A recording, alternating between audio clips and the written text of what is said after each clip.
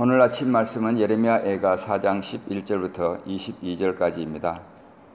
하나님께서 이스라엘 백성들의 그 멸망을 얘기하면서 아, 그것이 지도자들의 문제였기 때문이다라고 13절 말씀에 얘기를 하고 있습니다.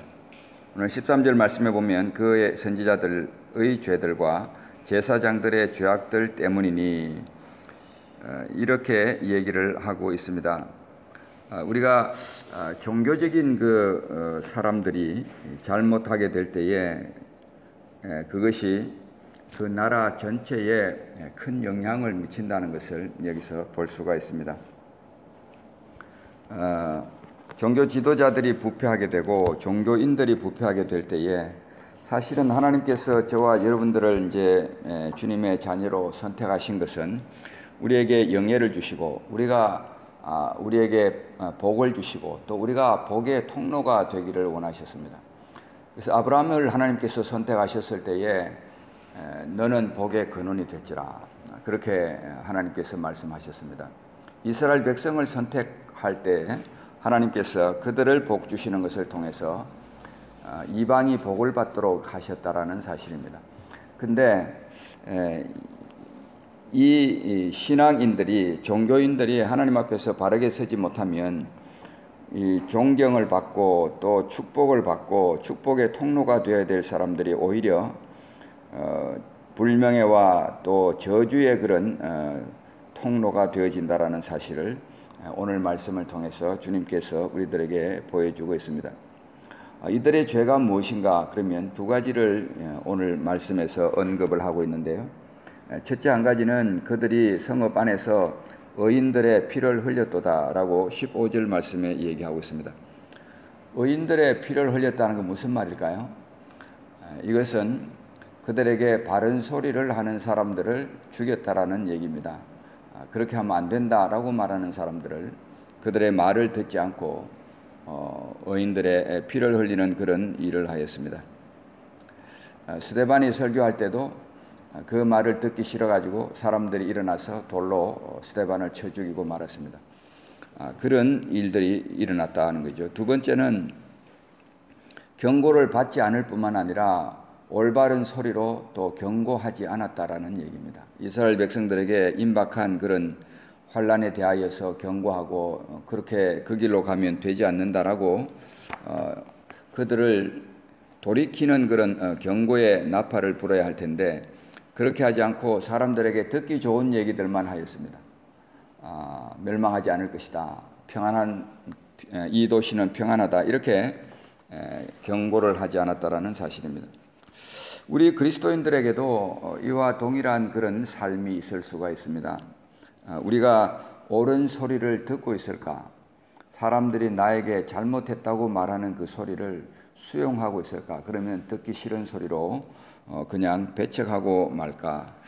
우리들의 삶의 변화가 일어나는 것은 어, 경건한 그런 어, 조언들을 듣고 또 지적을 수용하고 그렇게 할 때 그것이 지혜로운 삶이고 또 그것을 통하여서 우리가 변화돼 나가고 성숙하여 갈 수 있다라는 것입니다. 어제도 우리 선교사님이 그런 간증하는 것을 들었습니다.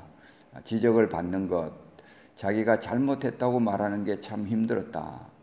아, 그런데 그것을 통해서 공동체가 아름답게 성장하여 가는 것을 보게 되었다. 그런 간증을 하는 것을 들었습니다. 어, 저와 여러분이 누구도 완전한 사람은 없습니다. 하나님께서 우리를 어, 온전한 것으로 어, 그런 방향들로 성장되게 하시는 데는 바로 이런 수용적인 태도, 겸손한 태도, 어, 지적을 받을 수 있는 그런 태도, 그런 것이 필요합니다. 그래서 옳은 소리를 듣지 않을 뿐만 아니라 또 하나님께서 보여주시는 옳은 진리로 경고하지 않은 것도 선지자들에게는 또 제사장들에게는 큰 문제였습니다. 아, 우리가 지금 아, 모든 교회가 다 그런 것은 아니지만 사실 강단에 서서 옳은 소리를 한다는 것이 쉬운 일은 아닙니다. 사람들에게 듣기 좋은 얘기, 복 받는다는 얘기, 예, 그런 얘기들을 하면 사람들이 참 듣기 좋아합니다. 그러나 그렇게 하여서는 교회가 그 사회를 정화해내는 능력을 상실하고 마는 것이 됩니다. 그래서 어, 지금도 이 진리는 동일하게 적용이 된다고 보여집니다. 우리가 다른 사람의 얘기를 잘 수용하는 사람인가, 그리고 남에게 어, 올바른 얘기를 할 수 있는 사람인가, 이런 것은 지금 이 사회를 생각할 때도 우리 그리스도인들이 사회를 정화시켜내는 그런 능력을 어, 배양해 나가려면 오늘날도 이 말씀은 진리의 말씀이고 우리들에게 필요한 태도다라는 것입니다. 하나님께서 사실 이들에게 그런 역할을 하도록 어, 이스라엘 백성들 위에 세워 주셨습니다. 선지자들과 제사장들이 되게 하셨는데 이들이 이렇게 하지 못할 때에 그 위선적인 삶의 결과는 무엇인가 하면 거기에 세 부류의 반응을 얘기하고 있습니다. 첫째로 15절 말씀에서 사람들이 그들에게 외쳐 이르기를 저리 가라 부정하다 저리 가라 저리 가라 만지지 말라 하였다고 말하고 있습니다. 이것은 구약에 보면 문둥병자들에게 대하는 태도입니다. 레위기 13장 25절부터 45절까지 말씀을 보면 그 문둥병자에게 이런 어, 제사장이 일단은 부정하다고 선언을 합니다. 문둥병으로 판명이 되면 두 번째로는 어, 레위기 13장 45절에 보면 자기 스스로 옷을 찢고 머리를 풀고 윗 입술을 가리고 외치면서 뭐라고 외쳐야 되냐면 부정하다, 부정하다 이렇게 외치라고 하였습니다. 그래서 그를 가까이 하는 사람들이 이 사람 때문에 부정함을 입지 않도록 아, 그런 조치를 취하였습니다.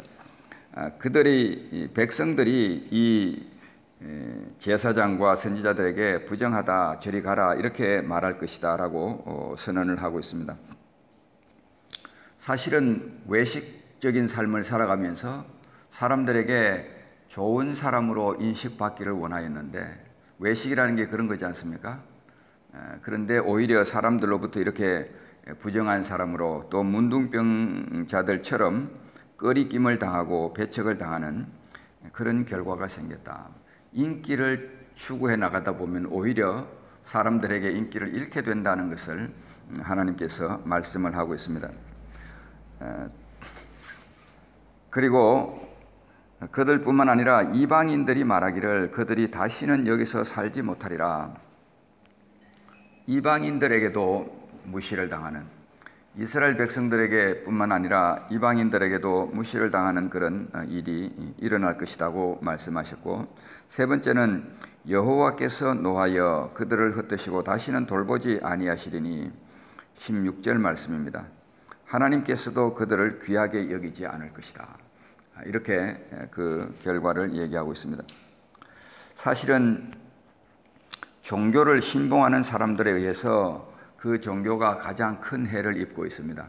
기독교가 해를 당하는 것은 우리의 대적들, 눈에 명확하게 보이는 대적들에 의해서 큰 해를 당한 것이 아니라 그거를 열렬하게 신봉하는 사람들에 의해서 기독교가 가장 많은 회방을 받고 받아왔습니다. 그래서 그런 의미에서 저와 여러분이 하나님을 잘 믿는 사람들인데 그럼에도 불구하고 또 우리 때문에 하나님의 이름이 회방을 받을 수 있다는 사실을 우리가 분명히 기억을 해야 되겠습니다.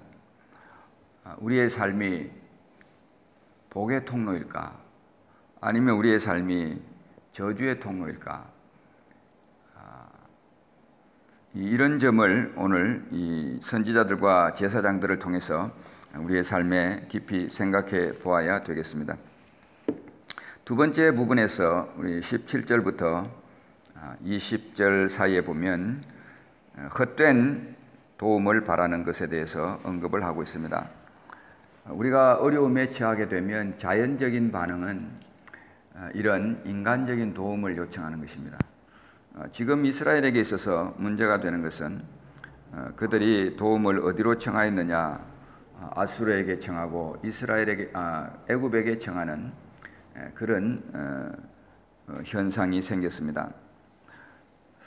아수로 애국 어, 이스라엘 백성들이 항상 문제가 생길 때마다 주변에 있는 강대국들의 동맹을 하거나 또 군사적인 협조를 요청하는 그런 모습을 우리가 역사서에서 많이 보고 있습니다.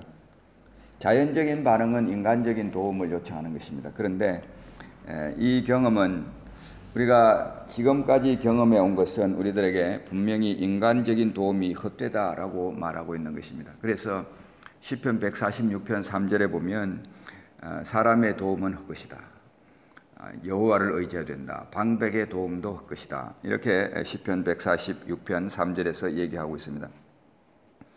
중요한 것은 우리가 아, 인간적인 도움이 헛된 것이다 라고 진정으로 우리 마음으로부터 고백하게 될 때에 하나님의 도움을 만나게 된다라는 사실입니다. 하나님의 도움이 가까이 계시는데 우리가 인간적인 도움을 계속 의지하는 한은 하나님의 도움이 우리에게 오지 못한다라는 것입니다. 어, 작년에 제 비자가 해결되는 과정에서도 주님께서 저에게 그런 경험을 하게 하셨습니다. 어, 제가 할 수 있는 만큼 열심히 비자 문제가 해결되도록 노력을 하였는데 해결된 것처럼 보였는데 그게 해결이 안 되더라고요. 3월 1월 23일 비자 만기되고 3월 말에 출국당할 위기가 한 번 있었고 6월 초에 출국당할 위기가 한 번 있었는데 6월 초에 해결이 된 듯처럼 보였어요. 어, 내무부 사람 만나가지고 저를 도와주겠다고 그러고 뭐 호의적으로 그러고 에팔라로도 연락하고 뭐 이렇게 해서 야 이제는 해결됐구나 그래가지고 그때 저희 집에서 모여서 기도하시던 우리 주로 여선교회 회원들이 수요 모임으로 저희 집에서 그때 모였었는데 갔다 와서 제가 이제 아, 잘 해결될 것 같다 그래가지고 셀리브레이션을 한번 했거든요. 그런데 그게 끝이 아니었어요. 에팔라로에 가니까 또 거기서 어, 틀고 해가지고 결국은 이제 12월 초까지 갔었는데 6월 초에 그 에팔랄로 어, 담당자를 만났을 때에 어, 너무나 완고한 그런 어, 반응을 보게 되고 그러면서 야 이거 정말 힘들겠구나 하는 생각도 들고 그리고 어, 그분을 보면서 아 이게 정말 내가 기도해야 될 게 뭔가 어, 하나님께서 이 사람에게 꿈이나 이상으로 말씀해 주시도록 두 번째로는 이 사람이 좀 교체가 됐으면 좋겠다. 다른 곳으로 정건 가도록 뭐 이렇게 이제 기도를 하게 됐는데 그 기도 하나님이 들으셨어요. 나중에 이제 12월 달에 에, 알고 보니까 이분이 교체가 됐더라고요. 근데 중요한 것은 그 6월 초에 그런 경험이 있으면서 하나님께서 저에게 말씀하신 것은 어, 역, 역대상 10, 20장에 아, 나오는 말씀처럼 전쟁은 내게 속한 것이다. 너는 가만히 있어서 나 여호와가 너를 구원하는 것을 보라. 그래서 그때부터 한 5개월을 제가 아무것도 안 하고 가만히 있었거든요. 근데 하나님이 일하시더라고요. 우리가 내가 뭔가 해야 그래도 좀 어, 편안한 마음이나 또 안전하다는 생각이 드는데 실제로는 내가 해야 되는 것을 포기할 때에 그때에 하나님이 일하신다라는 사실입니다. 우리가 하나님의 경험, 하나님의 그 영광을 보지 못하는 이유 중에 한 가지는 어, 하나님의 때까지를 기다리지 못하고 내가 그냥 나서서 하려고 하는 겁니다. 아, 그렇게 될 때에 하나님의 영광을 결국은 어, 보지 못하게 되고 인간적인 방법으로 해결하고 말게 되는 어, 그런 결과들이 우리들에게 생겨집니다. 하나님께서 우리에게 분명히 말합니다. 그것, 그것이 바로 헛된 도움이다. 아, 그거를 바랄 것이 아니라 주님께서 도와주실 것을 기대하고 기다려야 된다. 하나님께서 기다리시나니 이는 너에게 은혜를 베풀려 하시며 일어나시리니 이는 너희를 구원하리 하심이라. 이사야 30장에 있는 말씀입니다. 하나님이 기다리시는데 그냥 마냥 기다리는 게 아니라 우리에게 은혜를 베풀기 위하여서 우리에게 구원을 베풀기 위하여서 하나님이 기다리고 계신다. 그분이 일하실 수 있도록 기회를 드리면 그분이 일을 완전하게 이루어 가신다라는 사실을 우리가 기억을 해야 되겠습니다. 오늘 아침의 말씀을 통해서 어, 우리가 아, 살아가고 있는 내 삶, 축복의 길일까, 저주의 길일까? 아, 그 종교적인 지도자들을 세워서 이스라엘 백성들에게 경고하기를 하나님은 원하셨고, 또 그들이 진리의 길을 걸어가기를 원하셨는데, 그들은 그런 삶을 살지를 못하였습니다. 경고를 받지도 않았고, 경고를 하지도 않은 그런 삶을 살아가고 말았습니다. 그들의 삶 때문에 결국은 이스라엘 전체가 이렇게 멸망의 길을 걸어가는 일이 발생하였다. 우리가 그리스도인으로서 내가 져야 될 책임이 무엇일까?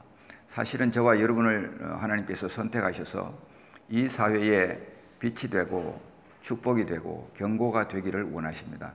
아, 그런 삶을 나는 살아가고 있을까 우리들이 생각해 보아야 되겠습니다. 내가 아, 도움을 바라는 그 소망, 도움의 대상, 어, 소망은 어디 있을까? 아, 이런 것도 우리가 좀 생각을 해 보아야 되겠습니다. 자연적인 반응은 인간적인 도움을 추구하는 것입니다. 그런데 하나님은 인간적인 도움이 헛되다라고 말씀하십니다. 하나님으로 일하시게 우리는 그 기회를 드리고 있을까? 그러면 하나님께서 일어나셔서 그분의 일을 행하시게 될 것입니다. 저와 여러분의 삶이 주님의 축복의 통로가 되고 우리 하나님의 일하심을 그런 기회를 하나님께 드리는 하나님으로 하나님 되게 하시는 그런 삶을 살아가시기를 우리 주님의 이름으로 축복합니다. 기도하겠습니다.